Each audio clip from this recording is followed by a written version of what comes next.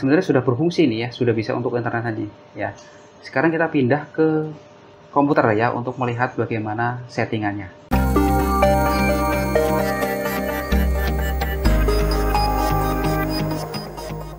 Halo, berjumpa lagi dengan saya Pak Eko ya. Kali ini saya akan unboxing lagi ya. Kira-kira apa sih ya yang akan saya unboxing ya? Kita lihat saja ya. Ya, kita buka dulu ya. Kita buka dulu ini paketan ini isinya apa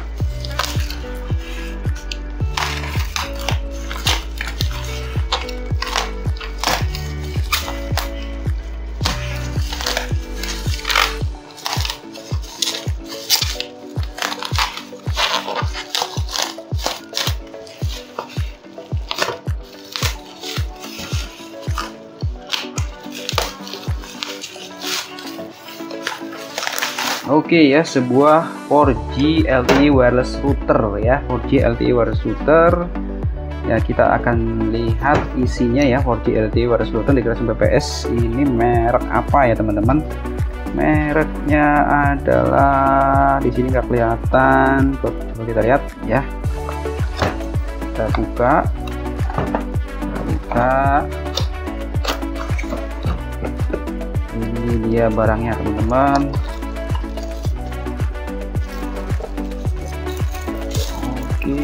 Smartcom ya.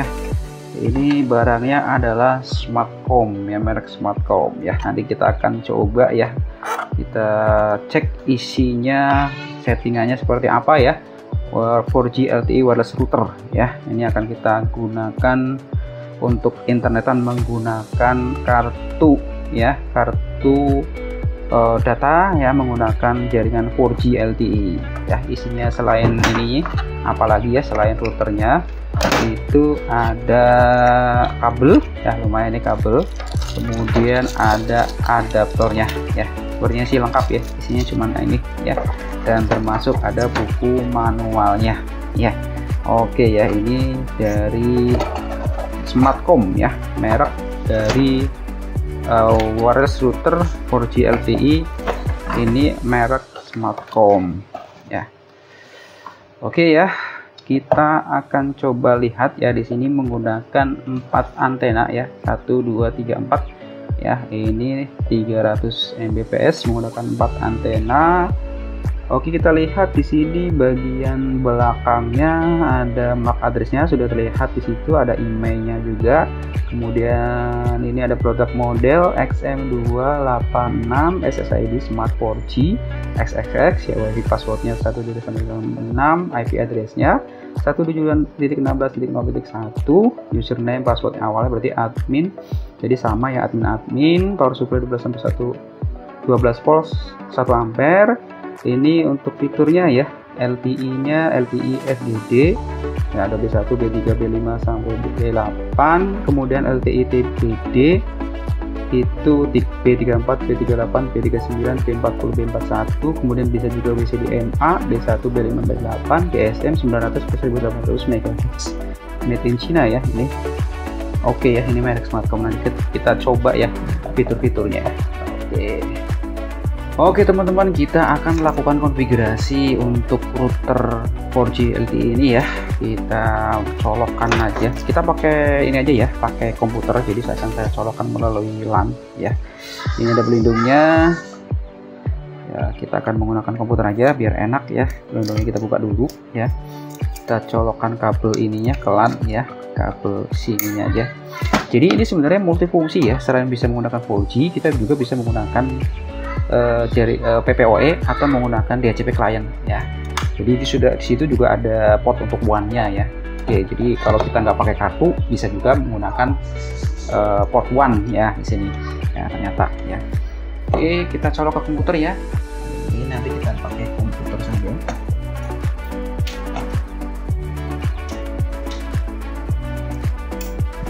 Oke, sudah saya colok ke komputer, kemudian powernya kita colok juga powernya kita colok juga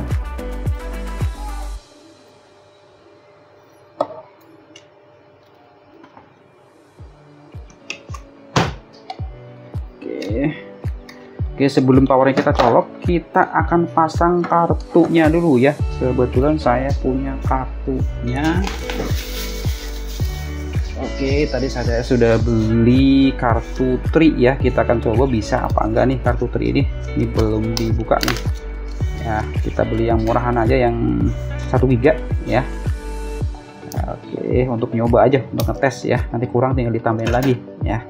Yang nggak perlu registrasi langsung aja ini ya yang harga 10.000 murah ya untuk ngetes aja kita masukkan ke sini ya ke SIM jadi jangan sampai terbalik ya. Mungkin seperti ini. Bentar ini gede ya teman-teman. Jadi harus menggunakan ini yang lebarnya ya. Jadi kita harus menggunakan yang lebarnya juga. Oke. Sebentar coba kita cek dulu sebentar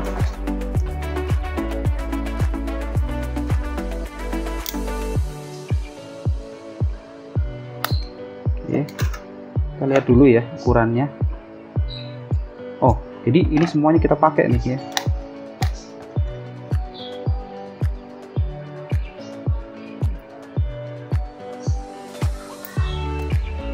Oke. Jadi menggunakan ukuran yang besar ya teman-teman.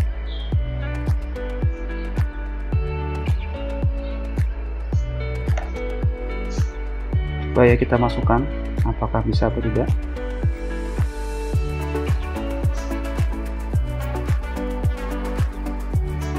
Oh, terbalik kayaknya. Coba seperti ini ya. Oke, seperti ini ya cara memasukkannya. Oke, sudah masuk untuk singkatnya ya. Baru kita nyalakan ya, kita nyalakan nih ya.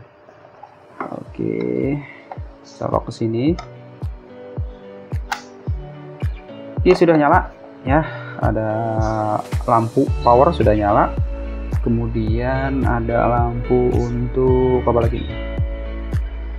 yang lain belum kita tunggu wireless sudah nyala lampu wireless ya dan di sini ada lampu untuk 4G untuk data ya ini menyala tapi uh, agak warna oranye ya atau merah ini apa oranye ya terus lampu lain yang menyala. Ya tadi warna merah atau warna oranye ya. Sekarang udah warna hijau berarti 4G nya ini sudah berjalan ya teman-teman. Ya oke okay, ya. Sekarang kita uh, sebenarnya sudah berfungsi nih ya sudah bisa untuk internet aja ya sekarang kita pindah ke komputer ya untuk melihat bagaimana settingannya.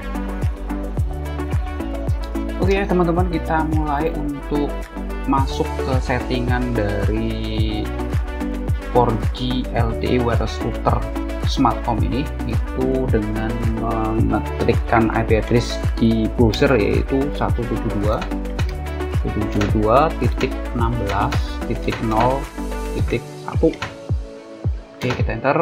Nah ini passwordnya user dan passwordnya masih default yaitu admin. Ya kemudian admin. Oke enter. Oke. Bisa disimpan. Kita disuguhkan ke widget ya teman-teman ya. Kalau mau pakai widget silahkan kalau nggak pakai juga silahkan ya. Uh, kita coba dulu pakai wizard boleh lah ya yang teman-teman yang pengen cara yang gampang ya. Oke kita next saja. Kita pakai wizard kemudian pilih 4G mode ya jadi bisa ada beberapa ada tiga mode ya router mode AP mode ya router mode berarti kita bisa menggunakan jaringan selain jaringan 4G ya jadi router ini sangat inilah ya apa namanya kita nggak pakai 4G bisa ya pakai router mode ya mungkin sebelum PPOE saya mau lihat dulu router mode itu seperti apa ya Nah, jadi bisa PPOE ternyata ya, dan static IP ya, PPOE dialing dan ada automatic. Automatic berarti menggunakan DCP ya. Kalau nggak salah ya, ini automatic acquisition ya, uh, bisa menggunakan DCP lah ya, atau PPOE dialing atau IP static. Saya back lagi ya, karena kan kita butuhnya menggunakan 4G ya, karena kan tadi kita sudah menggunakan uh, R2 ya, atau AP mode, AP mode, AP mode seperti apa ya. Ada static API juga ada automatic acquisition ya. Ini different ways to get online please ya silakan lah ya. Uh, kan kalau anda mau pakai yang mana ya. Saya pakai 4G mode ya karena sudah menggunakan kartu tadi ya. Oke kemudian next ya kemudian disuguhkan ke wireless ya settingan wireless. Ya ini settingan standarnya smartphone 4G kemudian mungkin saya nggak ini lah ya uh, mungkin bisa diganti nih ya oh, untuk wirelessnya. Misalkan saya ganti dengan oh, misalkan my my wifi ya. My wifi. Ya kita ganti dengan my wifi passwordnya saya ganti dengan admin saya suka ini aja admin 123 oke okay, ya ini kita ganti di oh, settingan wirelessnya kemudian finish. Ini cukup ya cukup sederhana sekali ya untuk settingannya untuk di bagian ininya apa namanya widgetnya ya jadi di widget ini cukup sederhana sekali silakan anda bisa lakukan hal seperti tadi ya. Uh, tinggal next next saja selesai ya. Hanya meng, meng, meng setting untuk pemilihan dari mode internetnya menggunakan apa ya? Menggunakan 4G 4G mode atau menggunakan router mode atau menggunakan AP mode. Ya silahkan terserah nah ini sudah kembali lagi ke uh, overview ya. Tadi untuk widgetnya tadi sudah kita lakukan. Ya jadi kita bisa lihat nih overviewnya seperti apa. Ya di overview ini kita bisa melihat tampilan dari sistem mode-nya 4G mode ya. Version local time uptime ya. Model CPU memori ya di sini kelihatan ya kalau kita scroll ke bawah ya ada porti statusnya ya. ada emailnya juga kelihatan sini ya, interface statusnya ya. Oke ya. Kemudian di sini ada user list ya yang menggunakan sebetulnya hanya komputer saya aja yang menggunakan blacklist ya. Jadi untuk mengeblok lah ya yang mau terkoneksi ke sini. Network configuration di sini kita bisa lihat uh, menggunakan modenya apa ya. Kalau kita mau ganti tinggal bisa router mode nah ini kita kita tidak tidak pakai wizard ya ini menggunakan advance ini kalau router mode ya. Ini kita bisa setting LAN-nya WAN-nya pakai apa? Otomatis atau menggunakan PPOE atau menggunakan static ya silakan. Ya kalau untuk uh, ini kemudian settingan jaringannya ada wireless ya ada LAN sorry bukan wireless untuk LAN-nya ya coba settingnya. Uh, kemudian selain kita menggunakan router mode kita menggunakan AP mode ya mode AP jadi dia hanya menggunakan access point saja ya. Uh, kemudian di sini ada LAN-nya seperti apa? Ya bisa dicoba coba lah ya eh, teman-teman uh, yang mau mencoba ini. Kemudian wifi setting ya seperti biasa biasanya wifi setting biasanya untuk setting nama wifi kemudian password ya. Kemudian hide wifi nya ya. Jadi kalau ingin disembunyikan ya. Dan yang lain-lain ya. Oke ada WPS dan ada WPS pin code ya descriptionnya. Oke uh, ada flow assistant apanya nih ya. Jadi kita bisa melihat apa namanya flow datanya ya. Ini sudah digunakan berapa lama ya. Ya kemudian di sini kelihatan ya pemakaiannya sudah berapa mega ya. Kemudian ada sistem manajemen ada manajemen password untuk mengganti password ya local time-nya ya waktunya. Ini diganti aja nih yang ke 7 ya. Oke dibagi saya save ya. Save oke sudah sukses tersimpan jam 16 oh tapi masih masih masih tidak sama ya. Uh, mungkin dengan komputer ya nanti mungkin. Oh sudah betul ya 15 12 kemudian upgrade reset ya silakan di reset. Kalau mau di reset ya di upgrade silakan ya. Uh, silakan ya. Kemudian ada sistem lognya di sini silakan dan network detection. Uh, ini untuk network detection ya mungkin DNS nah ya ada reboot di sini uh, kemudian ada setup widget yang kayak tadi oke okay, ya oke okay, ya ini bagaimana tampilan web management 4G LTE wireless router dari smart home ya Oh ya, kita mungkin ingin tahu ya, ini kan pakai koneksi kabel ya. Uh, mungkin kita lihat speed testnya kalau pakai koneksi kabel. Hasilnya seperti apa? Ya, kita lihat speed test. Oke, saya lihat di speed testnya ini menggunakan tri ya. Oke, kita lihat di kondisi kabel cukup cukup kencang juga ya dari kebukanya. Kalau kita buka YouTube cukup kencang juga dari kebukanya kita bagi tes menggunakan kabel. Dan ternyata speednya lumayan ya. Jaringan tri di sini menggunakan ini langsung kabel ya 7 7,5 Mbps ya 7,7 uh, Mbps lah ya kata-kata nih. Menggunakan tri cukup lumayan ya cukup lumayan. Untuk downloadnya ini uploadnya lumayan besar ya sampai 13 Mbps ya. Lumayan gede nih ya untuk uh, baik download maupun uploadnya. Ini menggunakan kabel ya nanti kita coba tunjukkan menggunakan wirelessnya ya. Wirelessnya nanti kita pakai handphone juga bisa ya. Oke kita lihat ke YouTube. Coba kita lihat buka YouTube itu seperti apa ya. Ini menggunakan router nih ya. YouTube. YouTube. Agak agak ini juga ya. Agak lama juga nggak apa lama juga di coba saya buka channel saya. Eko Martanto. Nah ini dia channel saya ya. Salah satu video saya akan boleh ya? Oke.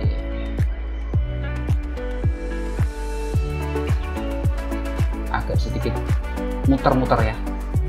Tapi sih overall lumayan ini ya. Uh, jaringan tri ya menggunakan jaringan tri saya mungkin di tempat teman-teman bisa pakai kartu yang lain ya karena kan ini multi ya tidak tidak terpatok. Uh, misalkan telkomsel saja telkomsel saja tri saja atau menggunakan smartphone saja ya karena ini bisa bebas ya mau pakai kartu apa saja ya. Jadi bebas. Ya ini sudah bisa ya untuk membuka YouTube ya. Ini saya, saya next coba saya cepetin. Masih bisa. Saya cepetin masih bisa. Saya cepetin. Oh, masih lumayan ya. Lumayan lancar. Oke ya. Jadi lumayan lancar ya untuk menggunakan jaringan kabelnya. Oke. Oke teman-teman tadi kita menggunakan jaringan kabel ya. Sekarang kita akan coba menggunakan jaringan wireless. Nah ini kebetulan laptop saya punya wireless ya menggunakan wifi toggle nah ini saya konekkan ke sini ya. Saya konekkan ke my wifi yang tadi ya. Saya connect ya passwordnya masukkan. Oke kita masukkan passwordnya apa yang terjadi ya.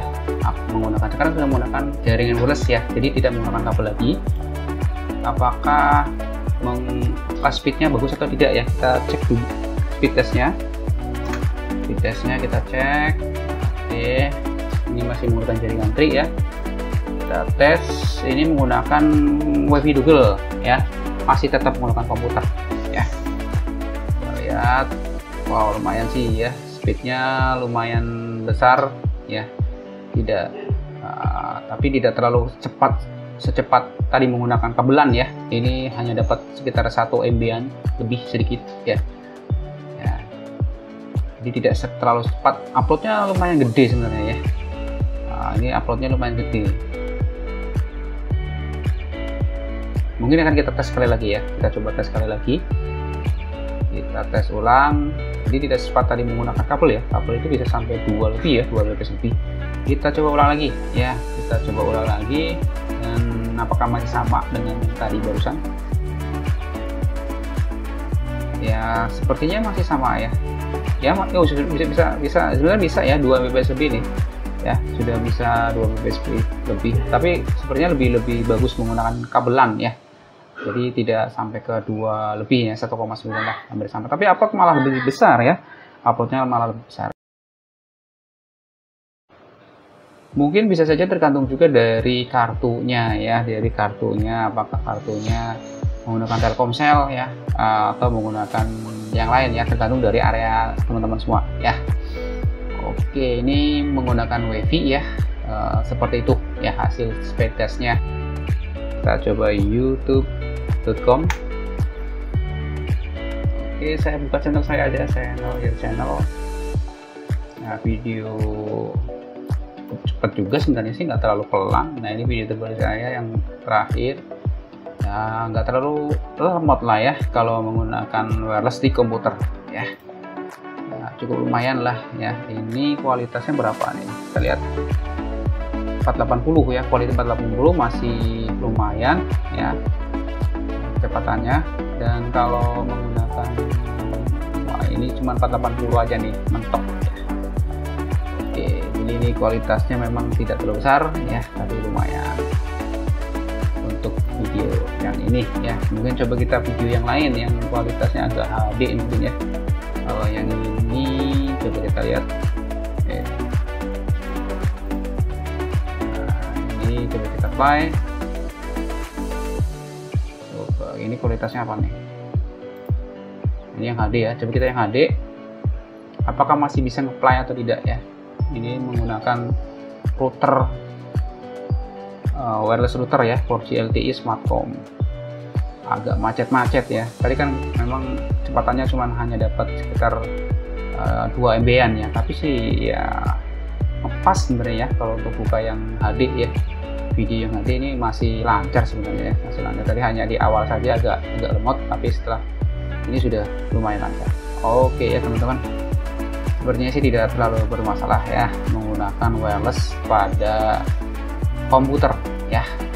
Oke. Oke itu saja ya. Bagi yang baru bergabung dan tidak ingin ketinggalan video terbaru dari saya silakan subscribe ya silakan like comment and share itu saja berjumpa lagi di next video